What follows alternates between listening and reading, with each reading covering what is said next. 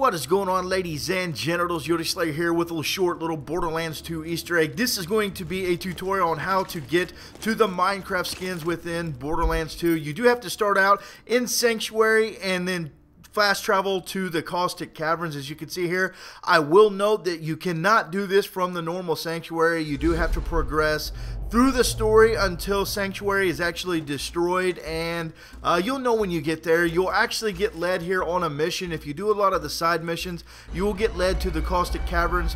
Uh, you just go through these big iron doors here. I do speed this up because it's pretty, it takes a while to run through here, but I didn't want to black it out like some of the other videos. I didn't want to just skip through it.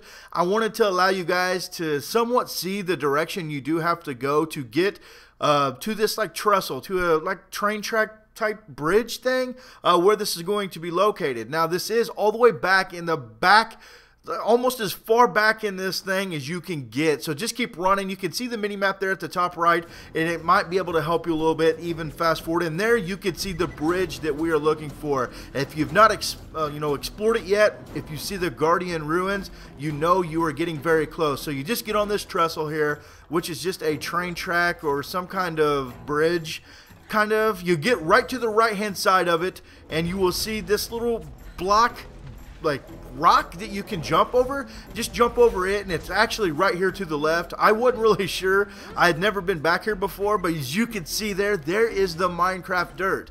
Now to get through this you just melee this. Whichever character it is you just melee it a few times and you'll see that it actually destroys it similar to Minecraft now there's actually going to be a, another wall that's cobblestone and some coal right here is a mine like Minecraft Torch. Uh, they it's really cool. Once you get in here, the enemies are really pretty awesome. You Minecraft fans out there will really appreciate this. And once you see what you get at the end, it's worth the venture to get back here. Now you do, like I said, you do got to wait for the story to progress. Um, but I'm only level 18. You don't have to go really far. Um, as long as you get those side quests done and side missions all the time like I do, I'm kind of OCD about it. Like I said, you will eventually get led back here. Actually, the mission you can see on the screen is what you got to do. But right there, dudes, it is a creeper. It is a freaking creeper, and you can see it drop the skin. You just simply pick it up. I will show you how to change your skin for those that may not know. But check that out, dudes. Isn't that just awesome? You don't want to get near these creepers, by the way. Uh, they will splooge on you pretty good. Here in just a second, I get pretty lucky. I have no idea where this dude came from. I didn't see him for a second. I tried to hit him with my Siren special ability, but you can see I whiffed it. But it's all good. We got back here. We survived.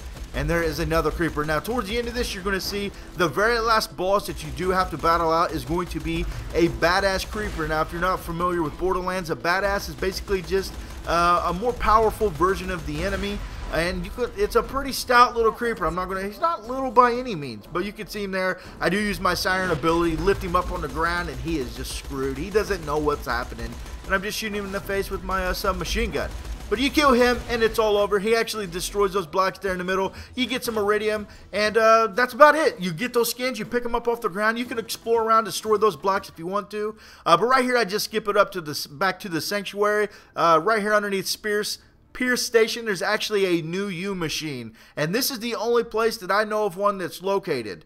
Uh, so it is in Sanctuary. Now you can see, you go to your inventory, you find those new skins. You do have to activate them for them to appear in the new U machine.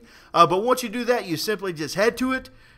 You know, go to the head, find the Minecraft skin. It's actually called the Creeper something. I don't know. I can't read it in Vegas, but it's Creeper something. And then you go to the skin and you find the Minecraft skin for that all the way towards the bottom. And you are done. You will see what the character looks like at the end of this video.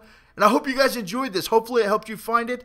And I'm going to get out of here. If you guys want to see me show the uh, Ninja Turtle Easter egg, I can do that. Hit me with some thumbs up. And uh, I'll check you guys later. Peace.